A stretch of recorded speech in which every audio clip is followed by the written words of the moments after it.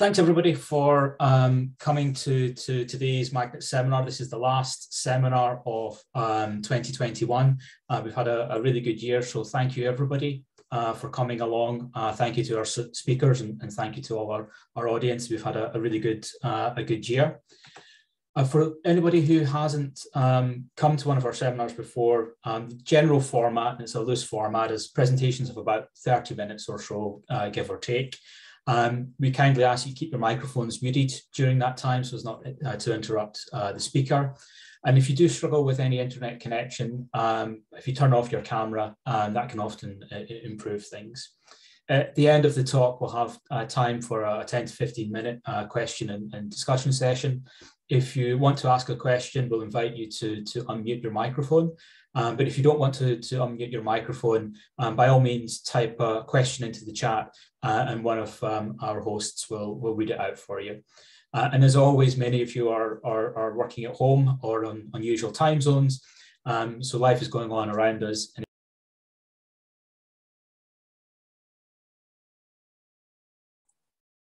Uh, Greg, you've been muted.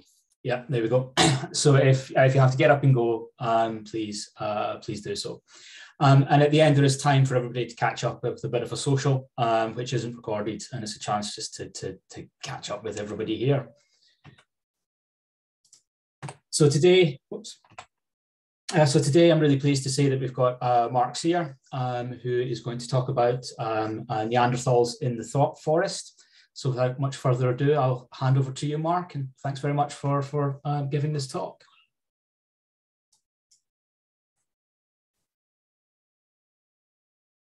Let me unmute myself first and then start sharing my screen.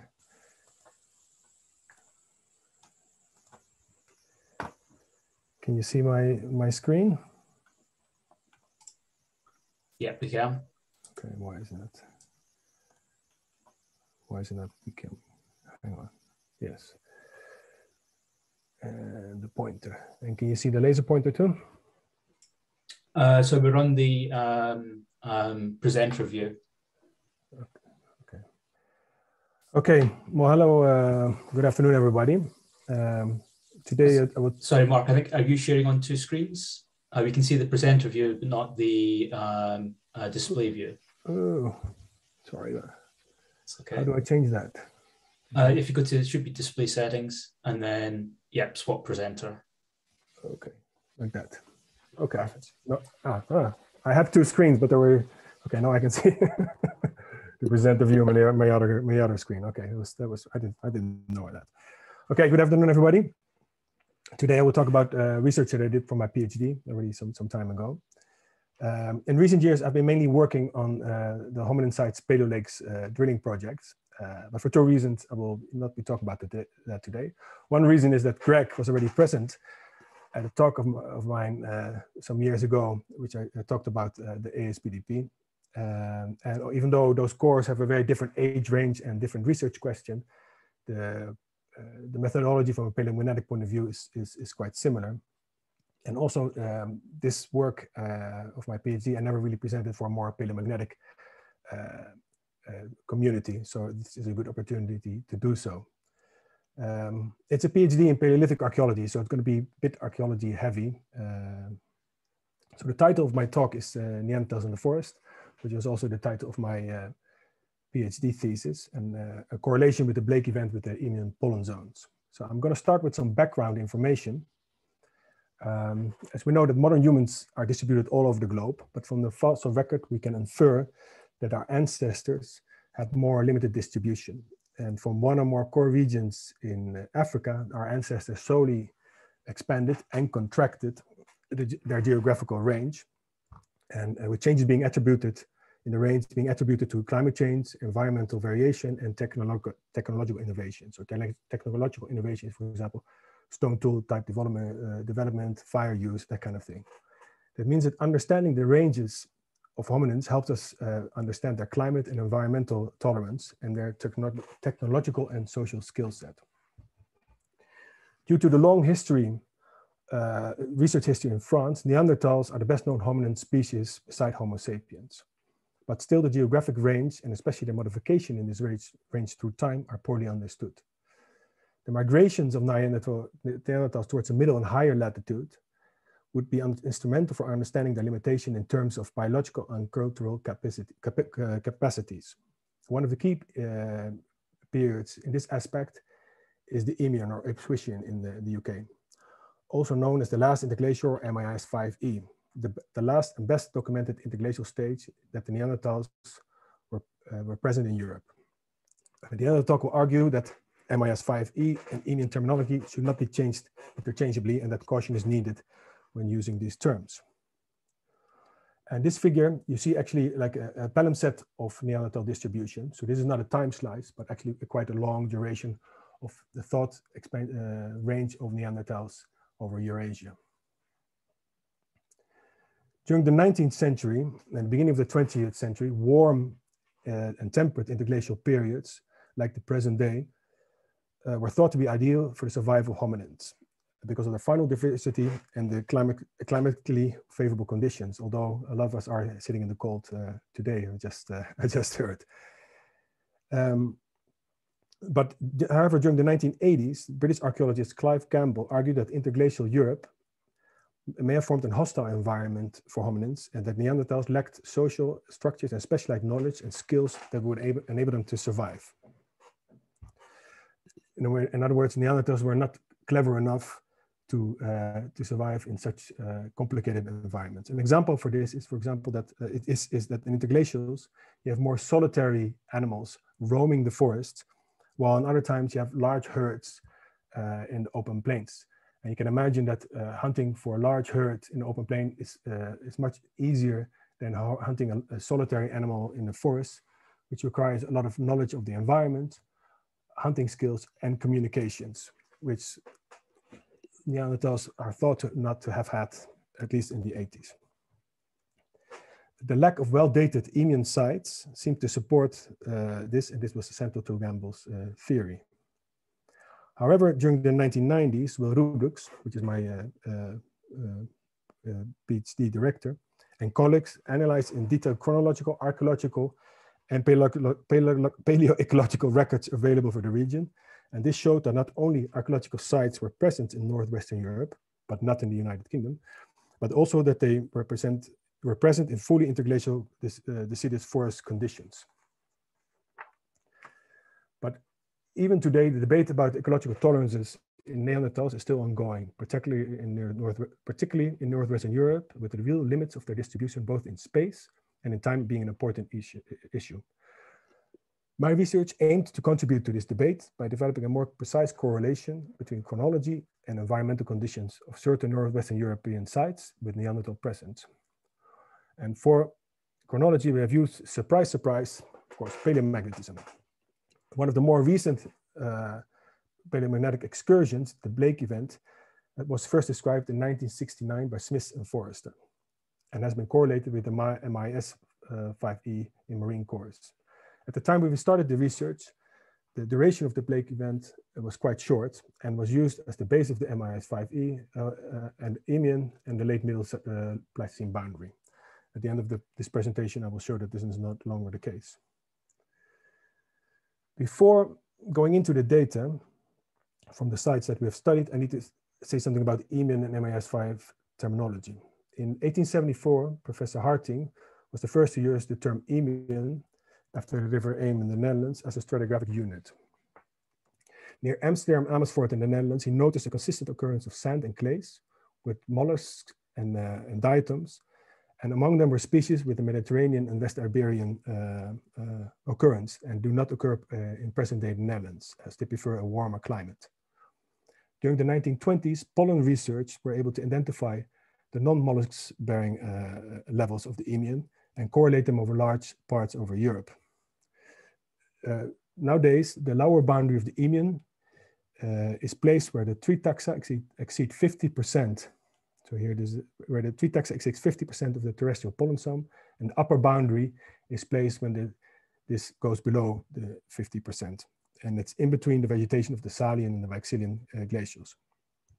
The duration of the Eemian in Northwestern Europe has been estimated at 11,000 years by varve counting and extrapolation of sedimentation rate at uh, the German site of Bispingen by um, Müller in 1974. Uh, the varves occurred in the lower part of the sequence. So the lower part of the sequence, as you can see here, number uh, one is extremely detailed, so 100 years, 200 years, 450. But the higher up you go into the sequence, there are no more varves present, and those durations of these different pollen zones are estimated in sedimentation rate. So the longer duration, but also there's more error margin in those uh, in those uh, estimates. Um, in Southern Europe, actually the duration, uh, uh okay, uh, this, uh, well, sorry, I have to go back a little one step.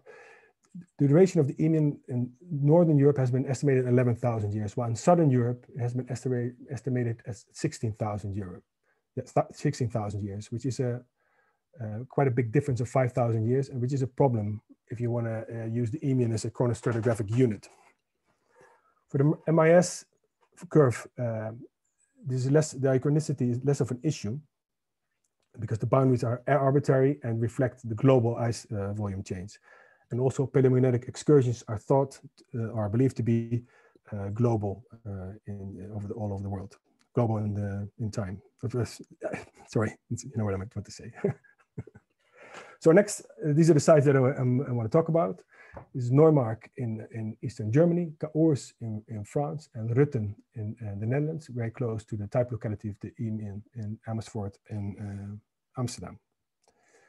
Let's start with Neumark, or Neumark North, as it's uh, officially called. It's located south, 10 kilometers southwest of, uh, of Halle, west of, of Leipzig. And uh, actually the sites consist of three sites, Neumark Nord 1, 2, and 3. And it's situated in the Geiseltal, an area which has been known for brown coal mining over the last 300 years. Due to the large-scale mining activities, research has been going on for the, the last three decades, and Neumark Nord 1 was discovered in 1985 by uh, uh, Professor Thomae, and it was excavated until 1990, 1995. And in that same year, the Neumark site 2 and 3 were discovered. According to Professor Mania, the age of Neumark North 1 can be placed in intersaline interstadial and has an age of around 220,000 years ago. Uh, and, and, a similar age uh, was estimated for Neumark North 2, but there was a, within the team, there was a big discussion about the age of Neumark North 2, uh, leading to a detailed research of that site.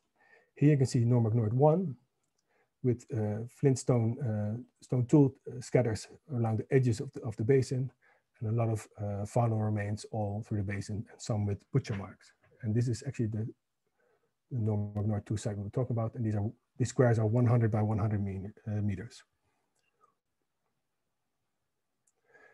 Mining stopped in the 1980, uh, 1990s, and the man-made valley has, has, been made into a recreation lake.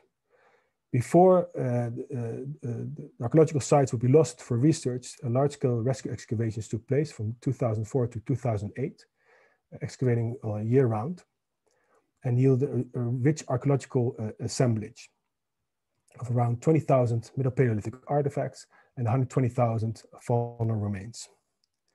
The faunal remains uh, include uh, a lot of warm-tempered species, including uh, straight tusk elephants, one of the tusks you see being excavated here in the lower part. Uh, rhino, bovids, equids, deer, bear, uh, bear and all small carnivores and, and a lot of uh, other animals. In order to develop a fine-grained paleo-environmental and chronological framework for this unique archaeological record, the basin infill was studied a, by a wide, wide, range of disciplines, um, and also because of the disagreement about the age of the site. And these studies yielded climatic and chronological proxy records, which are of great relevance to the study of the last interglacial. The infill, its genesis, and the artifact-bearing deposits in particular were meticulously studied and documented um, in a large number of sections throughout the excavation. A key section is Hauptprofil 7 or main profile 7, HB7, that cut through the deepest part of the infill. And the section was sampled a wide range of techniques for paleoenvironmental studies, including sedimentological, morphological studies, further pollen, microbotanical, remains, mollusks, etc., uh, etc. Et Finally, for high resolution paleomagnetic samples were taken at five centimeter intervals uh, over the entire sequence. All data indicates uh, a, a, a, geological rapid infilling of a shallow basin and micromorphological study shows that the sedimentation uh, was a nearly continuous process without pronounced soil formations in period of non-deposition. For the paleomagnetic research, we took 184 samples, of which 159 were taken with dedicated Perspex uh, sample containers and 25 samples were drilled. In the paleomagnetic laboratory of Fort Hoofddijk of the University of Utrecht, we, the samples were stepwise demagnetized uh, using AF up to 100 millitesla, thermally up to 600 uh, degrees, and a selected set of samples were first heated up to 205 degrees uh, to remove the viscous component and then followed by an alternating field demagnetization. Here we see two uh, side diagrams of Neumark Nord 2. Uh, no DRM is indicated in these two diagrams, but it was present in some, in some samples.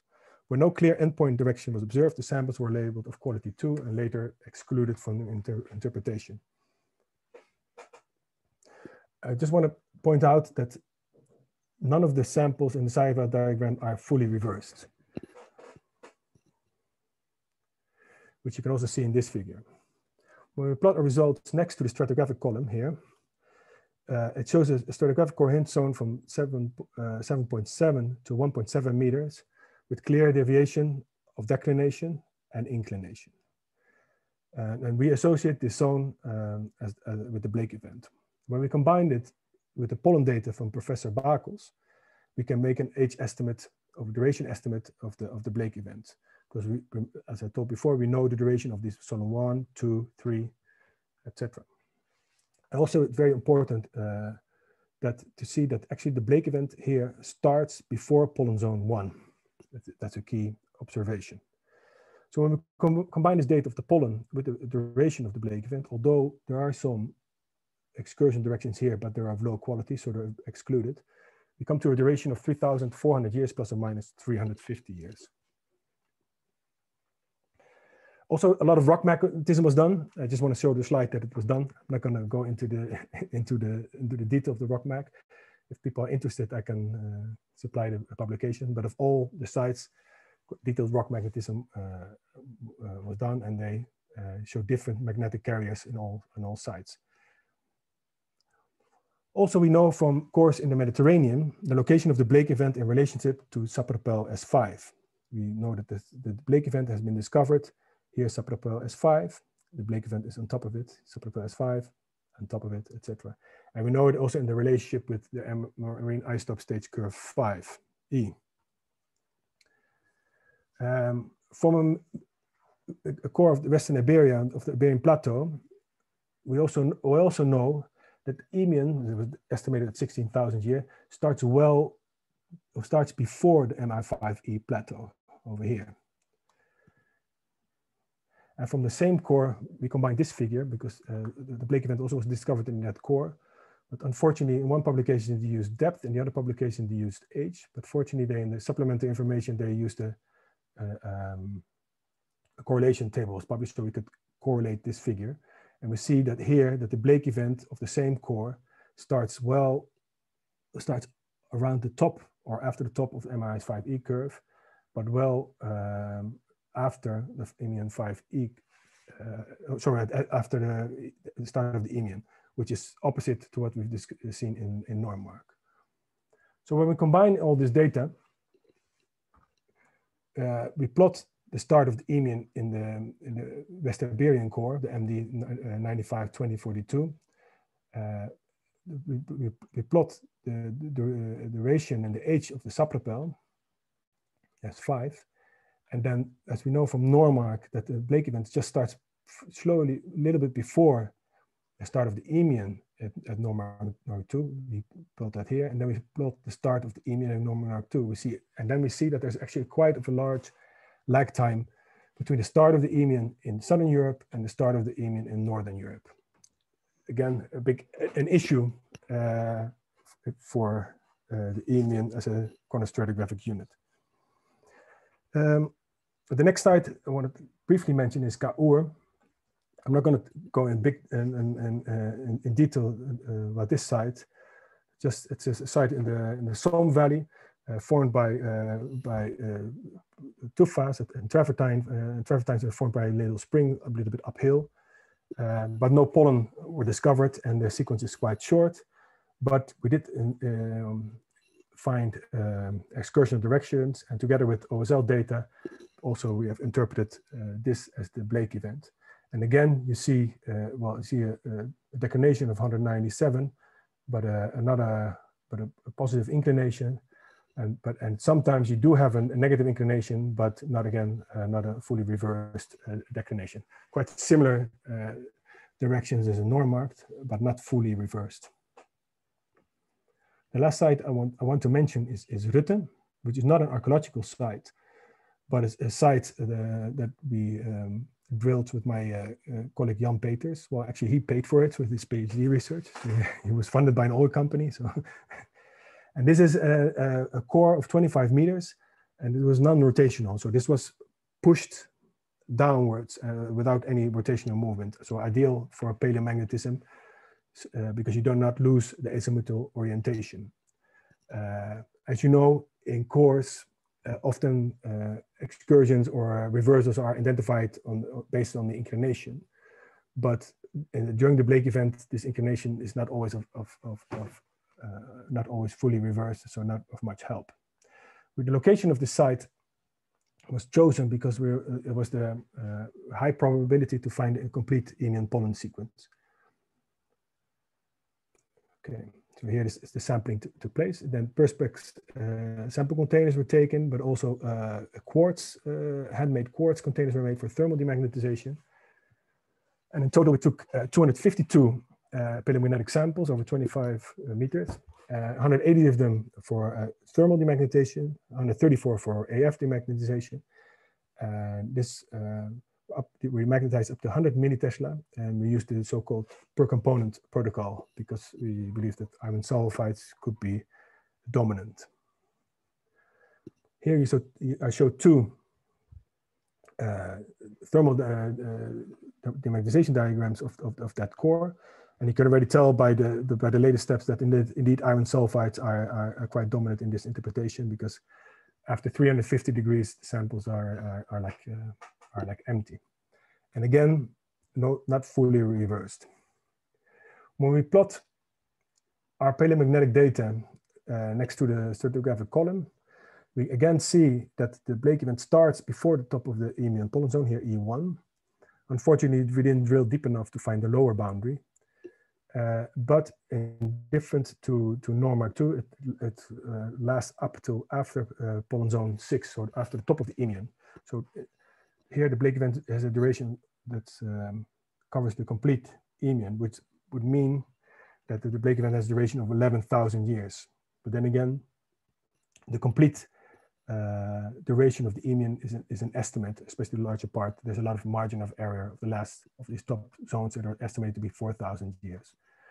At the same time, um, um, my um, a colleague of mine, Mark Bourne, in the University of Oxford, estimated uh, also the duration of the Blake event using uh, a marine core and uh, um, thorium, it, thorium excess, of thorium excess, 230 excess uh, for this sedimentation rate, and he estimated the duration of the Blake around 6,500 years. So a lot longer than previous thought. Uh, but there's a bit of a difference with my estimate, but um, again, the full duration of the in in the Northwestern Europe is, is, is, is quite rough, is quite a rough estimate combining uh, this data in, the, in this new figure again shows uh, that the Blake event starts after Sapropel S5, uh, that the duration is, is probably uh, longer than we estimated in 3,400 years in, in Neumark. Um, um, and that there's a large delay of around 10,000 years between the MIS 5, 5E uh, uh, start and the start of the Eemian in Northwestern Europe. So why does it, why does this matter for uh, for archaeology? Like I like I showed before, we have a uh, archaeology we have uh, Neanderthals present in Caours during the Eemian, uh, but if you uh, place the start of the Eemian uh, with a long delay instead of a like a, a, similar delay between North and Western Europe, it has has has um, consequences for the for what happens if you arrive to Western Europe and the sea level uh, at the sea level stand. So if you arrive at the Eemian at the same time as the Eemian starts here, then the sea level is still low. But if the Eemian starts uh, significantly late, by the time you arrive with your uh, in the Eemian here, actually the the the the, the, the channel is, is, completely filled, making a crossing uh, quite complicated. So that aspect is uh, why it's important for the Neanderthal range. Um, uh, one more slide that I showed before. So these are the difference between the, the 2010 and 2020 chronographic chart. So no longer is the, the, the Blake the base of the Eemian and no longer, uh, sorry, um, the Blake event is no longer the base of the Eemian and no longer the, uh, the base of the, the middle Pleistocene. As you can see that the, the duration is longer. Uh, it has been moved up a bit to com compared to the late middle middle, late middle Pleistocene boundary. And um, and is not no longer used as the base of the Eemian. Uh, and that was it. I don't know how long I lasted actually. uh, that was perfect. Thank you very much, Mark. Uh, we can all uh, give Mark a, our virtual round of applause for um, a, a, really interesting talk there. So I think uh, we can open up the floor um, to questions. If anyone has one, you can raise your virtual hand and I'll invite you to, to unmute.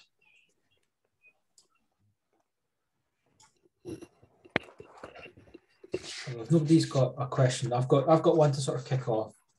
And I, maybe, maybe you mentioned it, and I, I wasn't quite sure. I mean, you were talking about how the Eemian is is is uh, starts at, at different periods based upon location in Europe. So what what actual markers are used to denote um, the onset of the, of the Eemian? Is that sort of biostratigraphic marker? It's a, it's, it's a pollen it's a pollen zone. Okay. So, so when the tree taxa uh, reach uh, over 50% of the terrestrial pollen sum, that's where the base of the Eemian is. Okay. And that, well, it, it's, uh, yeah, but using uh, flora and fauna as a chronostratigraphic marker is a problem. But, but the Eemian is a chronostratigraphic marker, but not a good one in my. In... Well, I, I guess so. Now I understand why there there is a geographic and climatic dependence on on where this boundary appears. Then. Yeah. yeah. But that was one of the comments in the review is like, yeah, but you're saying that there is a delay of onset, but it cannot be because it's a chronostratigraphic marker. Uh, yes, but. yeah. Uh, um, Kathy, you have your hand up. Yeah, yeah, I do. Um, I'm.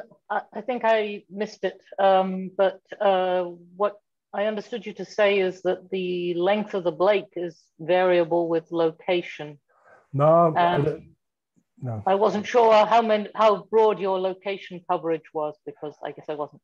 I don't. There, there, it's not. Uh, I don't think it's uh, depends on the location. It's just that in Neumark North, the the top of the sequence, the, the quality of the data was lower, and uh, I decided to exclude quality two hmm. uh, from the interpretation. So there are quality two excursion directions, but I, I had already decided to exclude them. Um, so now with hindsight, if you go back, actually you're, there is a there is there, there are indications of Blake also the upper sequence of of of Neumark Nor two, uh, and why the quality is is uh, is not good is probably because that has been it was more nearer to the servers and have been more oxidized. Hmm. Um, okay. So. Uh, but there's of course a different like Mark Bourne did a, did a, a detailed study of a core and he used uh, sedimentation rate and he estimated six and a half thousand. So if I estimate that the in, in Rutten the whole duration of the Eemian, it's based on what we think is the duration of the Eemian. And there's an and there's a, a quite large margin of error and especially in the top part, which is the, the longest part. So I think six and a half thousand could be well, or, or but there's of course margin in, in, in Mark Bourne's work. There's also a margin of error. So I think if you come to more than 7,000 years, I think it's, uh, I think it's quite likely. Uh, and there's, uh, you don't have any uh, paleointensity records that would uh, help in determining that? Uh, I do, but let me see, I haven't looked at them in a while. but, but, but you've done, you're dealing here with a terrestrial record, so it's not, you have, you're, you're quite limited. I have a, I have a, mm -hmm. a, a, a paleointensity record, but it was, I was not, yeah, I have it here in front of me. It's not quite useful because it, it's not just not long enough. You need a, need a longer sequence to yeah. say something to say something. Thank you. And it's Thanks very much, Kathy. And does anybody else have any other questions?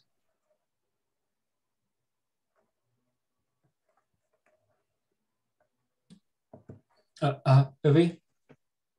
Uh, yeah, thanks. thanks, Mark, for this the nice talk. Um, I, I just wondered, have are you following this um, the paper by Jim Channell and, and Villiotti about this um, extinction of the Neanderthals and the relationship to the to the La Laschamp excursion? And and uh, do you have an opinion on the what happened at the Blake event, if, if that's actually true or not? Well, I have, I have not read the response yet. There has been a, a, a response in Science, I think, last week. Ah, right. But, but um, um, which I haven't read yet. But uh, first of all, I think yeah, it's called the um, uh, Adams event. He, he calls it. That, well, my first reaction is why not during the Blake event, which is a lot longer and uh, and mm. but this this type of arguments that uh, extinctions and uh, cultural innovations of hominins are related to uh, to, to, to reversals or uh, pain intensity lows has been around already since the 60s. Um, and there's so many uh, lows in paleomagnetic intensity, so many reversals, and so many things happening that you can always make a correlation of everything. Um, so I'm I'm I'm, I'm not convinced uh, at all. Uh, no, uh, big no. hey. All right, thanks. Uh, thanks very much. Uh, Anita, you have have your hand up. Yes if I can, if nobody else has questions for now. Yeah, go for it. Okay, I have uh, several questions, but uh, one is, uh, I don't know if you've seen our latest paper on the Flint uh, absolute pale intensity. So I guess if you could, uh, I'm happy to discuss this further, but if you yeah. could uh, recover some material of, of like Flint material from those uh, sites, uh, I think it would be an invaluable source for for checking uh, the pale intensity, the absolute pale intensity. I, don't, I don't, I don't know. You wrote, you wrote that paper. Yes, I will. I will email. I will email it to you. Please send it. Uh, please send it to me. Yeah, sure. There's there's twenty thousand artifacts. Okay.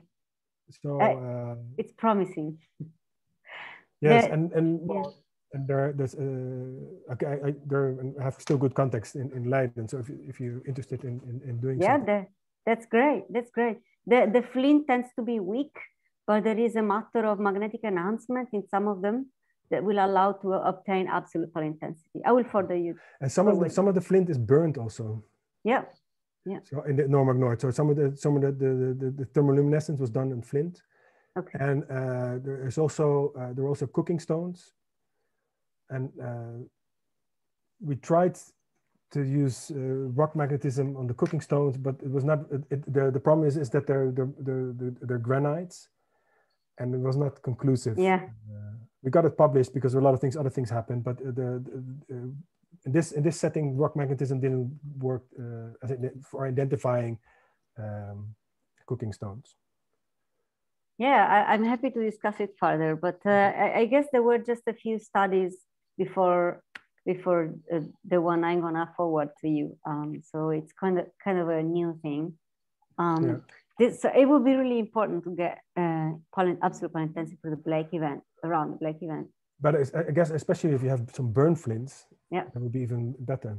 Yeah, yeah. Which there are. And um, and then I have a question that regards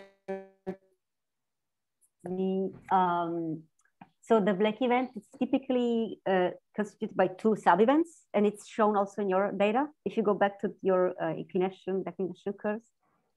Uh, sorry, do, uh... your your data, yeah.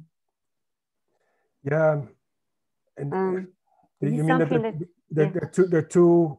Yeah. The, the two. Yeah. I have in the in the 2011 paper we did do uh, like a, like the uh, how do you call that? Like the polar wandering of, of, the but i'm not that convinced anymore about it so i haven't used it. Also because this is just only part of uh, because uh, i think now that the blake event is longer so I, here i haven't in in uh, Rutten i haven't done it. Okay that that would is, is that what you mean? This like this the the the, the migration of of, of uh, uh, the vgp Uh, uh, no, I actually meant the uh, the feature it, itself. It, it shows like a, a double double sub events. You can see from the paper by Osete 2012 from Sp- some speleothem in Spain. Yeah, in Spain, yeah. Yeah, yeah, and they act, so the duration finally, if you consider they all, it would be maybe it would be maybe like four four or five thousand years, which is within the excursion, the duration of the excursion we, that we've seen somewhere else, say the Laschamp. Yeah, but the La Laschamp is, is, is, is, is, thought to be a lot shorter than the Blake. Yeah, yeah. There is there is actually a, a debate about the duration of the Laschamp as well, uh, and the fact that may not be a global event, or it is a global event, but uh, not so. It could be diachronous, Yeah, I guess. I hope not. maybe Kathy can help me, or Sanya. I think Sanya is here. I'm but, working uh, on the Laschamp event now as well. I've, uh, a little bit more, more. Yeah. Yeah. I think the Blake event is easier to find. Katie, you have muted yourself. You wanted to say something? Oh, yeah, I was just going to say that I think uh, maybe Sanya should chime in here, but uh, what we see in uh, our attempts to figure out what's going on with the Laschamp is that it's followed by this period of generally low intensity where there seem to be a lot of uh, regional events rather than any kind of global event. Um, and that really complicates the issue for using uh, excursions as global markers. Yeah. Yes. Thank, thanks, Kathy. Yes. I mean, the Blake has been found with this double feature uh, in, in several places and of, of around the kind of the, the globe. So that could kind of chip uh, in toward uh, like more of a global event. Yeah. But I- um, I, I, I don't, I, I, I don't see it in this data. okay. So. All right. Thanks. Uh, I don't want to take up space from anyone else. If anyone else has a question, please go ahead. Otherwise, I have another one. Greg, you have a Well, I mean, if nobody else has any quick questions, Anita, you can take up the last question for today then. Oh, no, no, I don't want to take up the last question. Somebody else, please. Thanks, uh, Mark. Thank you very much. You're very welcome. Okay, well, we'll, we'll, we'll, we'll bring it to we'll bring it to a close there. So I think we can we can all thank Mark again for uh, another fantastic talk uh, and for rounding off um, 2021 for us. Cheers, Mark. Um, let me just grab this screen share. So just before everybody um, uh, disappears off, um, just just a reminder that was uh, the last um, seminar of, of 2021. Um, I want to thank again every, everybody who has attended the seminars over the last year or so. Uh, and uh, thanks to, to all of our speakers. We've had a, a great range of presentations uh, across a, a, wide range of topics. Uh, and it's been really it's been really fun and really enjoyable. Um, we will be back in, in 2022. Uh, and we are um, recruit, recruiting speakers. Uh, and as always, we're uh, wanting to encourage uh, early career scientists to, to, to give a, a MagNetZ presentation. Uh, so if anybody uh, would like to give a presentation themselves or would know anybody who would like to give one, please, by all means, get in touch and, and put forward that recommendation.